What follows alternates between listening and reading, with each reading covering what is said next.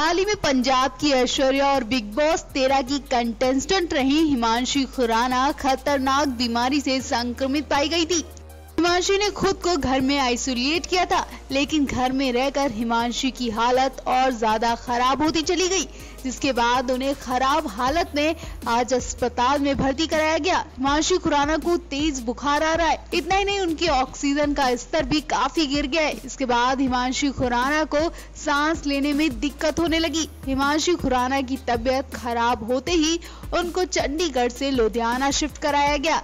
इस समय मानसी खुराना लुधियाना के एक हॉस्पिटल में एडमिट है। डॉक्टर की एक टीम हिमांशी खुराना की पूरी देखभाल करने में लगी है। ये खबर सुनते ही हिमांशी खुराना के फैंस के बीच खलबली मच गई।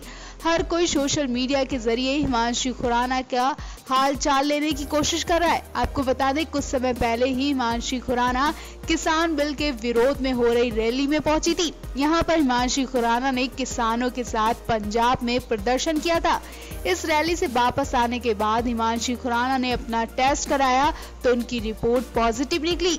इस बारे में बात करते हुए हिमांशु खुराना ने सोशल मीडिया पर लिखा था, मैं आपको ये बताना चाहती हूँ कि पूरी सावधानी बरतने के बाद भी मैं इस बीमारी से नहीं बच पाई।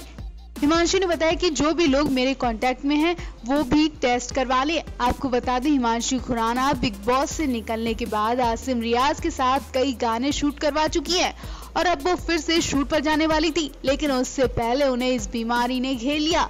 फ़िलहाल तो इस वक्त हर कोई हिमांशी के लिए दुआएँ कर रहा है।